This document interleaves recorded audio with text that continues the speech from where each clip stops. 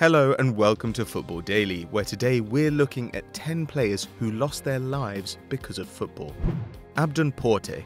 Football gives everything to some people, but sometimes it takes everything away. Abdon Porte was a Uruguayan star in the early 1900s, making over 200 appearances for Nacional, the side which in recent years has given us Diego Godin and Luis Suarez. A midfielder who could also play in defence, Porte won the league four times and picked up 19 trophies with the club, but by the time he was 25, he was struggling to keep hold of his place. Alfredo Zibecchi finally ousted the skipper from the lineup in 1918, and Porte was devastated, but an injury to his rival saw him get a chance to win his spot back. Porte put in an exceptional performance as Nacional beat Charley FC 3-1, and afterwards the whole team went out for drinks to celebrate. The captain left in the early hours, and his body was found the next morning at the club stadium. He had walked out to the middle of the pitch and shot himself, leaving a note asking Nacional's president to take care of his mother. He couldn't face being dropped again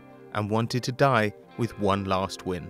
Yuri Tishkov as a player, Yuri Tishkov turned out for Torpedo and Dynamo Moscow, with Alex Ferguson once claiming an interest in the striker. However, his career was cut short when he clashed with Sergei Bodak in a Russian Cup game in 1993, leaving him with multiple fractures to his leg. The foul was so brutal that Bodak was given a lifetime ban. By the time he was 28, Tishkov was retired but stayed in the game, working as a TV commentator and as an agent. His clients included a young Andrei Arshavin and Alexander Kerzhakov, but in Russia at the time the business was tough with friends, family, and coaches out for a cut of players' earnings. In 2003, at just 31, Tishkov was found stabbed to death close to his Moscow home. He had more than 30 knife wounds and strangely hadn't been robbed, with the murderers leaving his briefcase which contained a large sum of money. It's thought he was killed over a contract dispute, but a decade and a half on, the crime remains unsolved.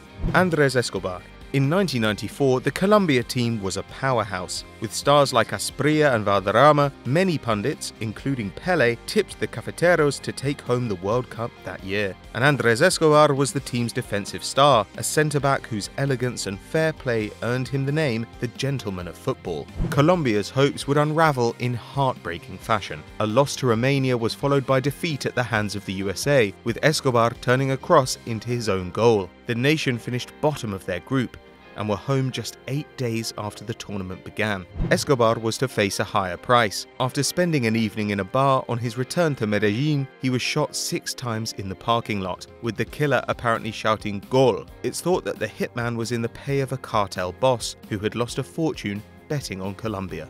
Robert Mensah, Goalkeeper Robert Mensah was one of Ghana's most famous men in the early 1970s. Always dressed in black sweater and a flat cap, Mensah was nicknamed Yashin and was as much showman as footballer. During games, he would occasionally pull out a newspaper and read it between the sticks, but he was an excellent stopper, winning the African Champions League with Asante Kotoko in 1970 and finishing runner-up with Ghana at the 1967 Africa Cup of Nations. Mensah was named the best keeper at the tournament, but his antics singled him out for particular hatred from rival fans. In 1970, after a 3-1 away win in Liberia, Mensah was chased off the field by fans throwing stones, and before long, Ghanaians would turn against him too. A defeat in Togo in 1971 meant the Black Stars would miss out on the next year's Cup of Nations and an opportunity to improve on their second place four years earlier. Mensah went out to drown his sorrows, but got into an argument with fans at a bar, and an electrician called Isaac Melfa stabbed him with a broken bottle. He died four days later. The whole country went into mourning, with children skipping school, thousands attending the funeral procession, and one man reportedly drinking himself to death out of grief. As a mark of respect, Mensah's first club named their stadium after him. The club's name? The Mysterious Dwarves. Jimmy Thorpe, the only footballer on our list whose death was accidental, Jimmy Thorpe played in goal for Sunderland in the 1930s, making his debut at just 17, and by 19 he was a regular in the first team, then one of the best in the country. At the time, keepers had very few of the protections they're given today, with forwards regularly clattering them in the hope of knocking the ball loose. In 1936, during a match against Chelsea, a defender played the ball back to Thorpe, with two blue strikers chasing after it. The stopper picked up the back pass, which was totally legal back then, but was kicked in the head and chest by the Chelsea men. Dazed, he saw out the game as the Black Cats gave up a 3 1 lead to draw, but was subsequently admitted to hospital, dying four days later. The cause of death was given as heart failure brought on by the rough usage of the opposing team. Sunderland went on to win the title, with Thorpe's widow receiving his medal, and the rules were changed, preventing outfielders from challenging a keeper holding the ball. Jozef Klotz and Leon Sperling the first goal scored by the Polish national team came from the boot of Jozef Klotz in 1922. The defender was, surprisingly, on penalty duty and netted a spot kick in Poland's 2-1 win over Sweden, in what would be his second and final appearance for his country. In the same side was Leon Sperling, a tricky left winger who, like Klotz, hailed from Krakow in the south and who would earn 16 caps for the White and Reds. The men shared something beyond their place of birth and footballing ability. They were Jews. At the time, Poland had several Jewish clubs, with Klotz turning out for Jutrzenka and Maccabi Warsaw, whose rivalry was so fierce it was known as the Holy War, a name now given to Wisła versus Cracovia. Sperling was one of Cracovia's earliest stars, captaining the side to three titles between 1921 and 1932. Sadly, their prominence made them targets, and in 1941 both men, along of course with the rest of the Jewish population, had been forced to live in ghettos,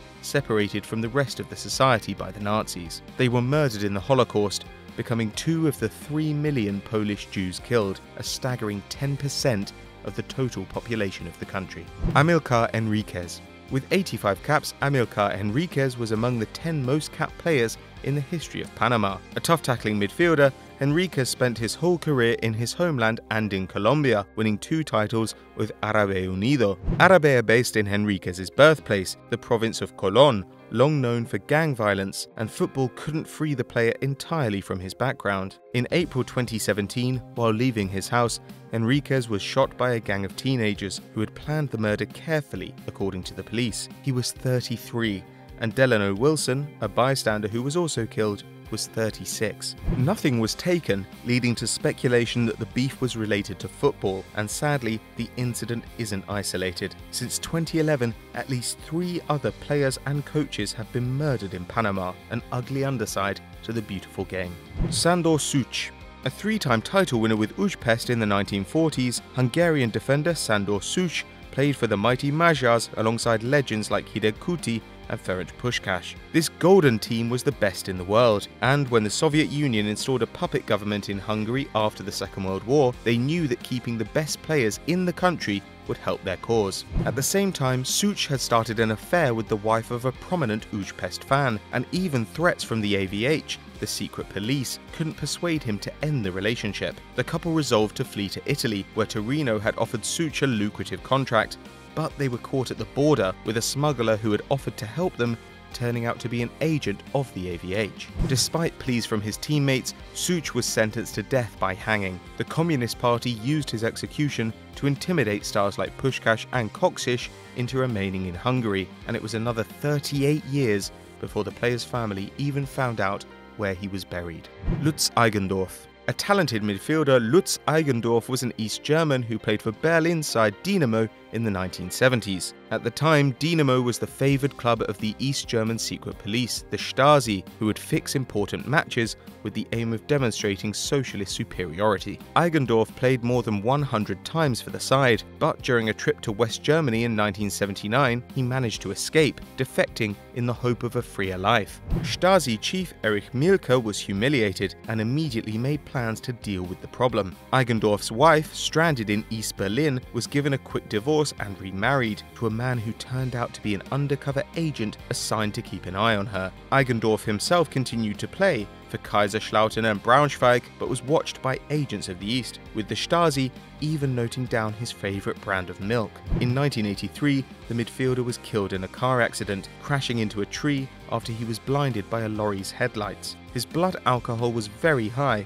though friends who had spent the evening with him claimed he had not been drinking. However, it wasn't confirmed that Eigendorf was murdered until 17 years later, when Stasi files were uncovered, revealing that his death had been engineered by Mielke. He was just 26 when he died. We meet again, it's the end of a video, you've made it, I'm proud of you. Remember to click right here to subscribe, like of course, and stay right here on the channel for more great content.